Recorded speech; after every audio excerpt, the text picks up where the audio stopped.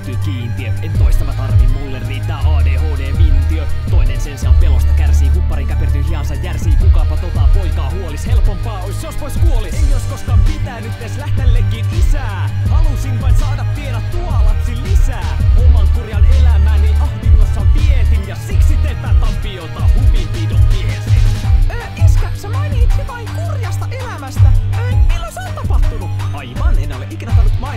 hiukan minun kurjemmasta nuoruudestani.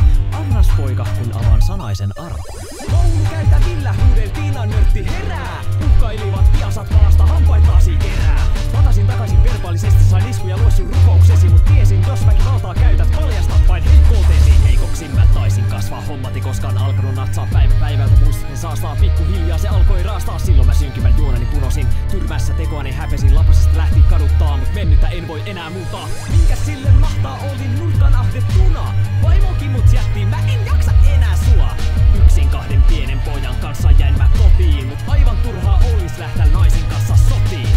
Kävin pohjalla, kaikki alkoi masentaa. Tunnen tuskaa sisällä riipi jatkuvasti ahdistaa. Voi kumpa jotenkin vois tämän olon jakaa. Jos löytyis edes joku, joka syntii, niin vois kantaa. Ymmärrätkö viimein, miksi päätin pitää sinun? On helpompaa kuin